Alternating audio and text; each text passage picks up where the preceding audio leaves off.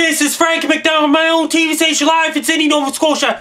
Here's my summer 2015 forecast for North America.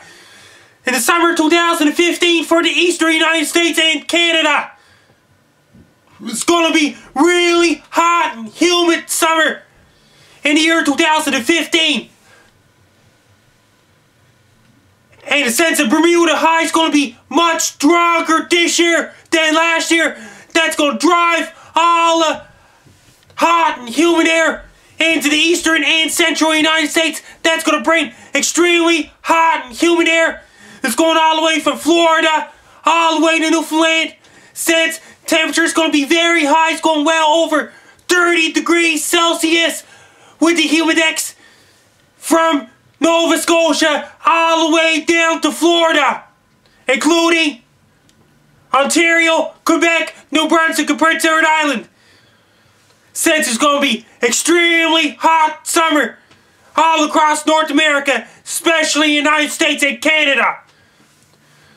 Since it's going to be real hot and humid. If you're living on the east coast of the United States, don't let your guard down. Keep your guard up just in case a tropical storm or hurricane hits the eastern United States during the summer 2015. Keep an eye on the hurricanes during the summer 2015 for people living in the eastern United States. and it's going to be hot and humid all across eastern United States and Canada. Because it's going to be very hot and humid summer all over the eastern and central United States and eastern Canada in this summer 2015. If you're living in California, you're in for extremely hot, dry heat, especially in Arizona, California, New Mexico, and those places. For entire North America, it's going to be extremely hot, humid summer. and the Bermuda High is going to get really strong off the east coast of the United States for the summer 2015.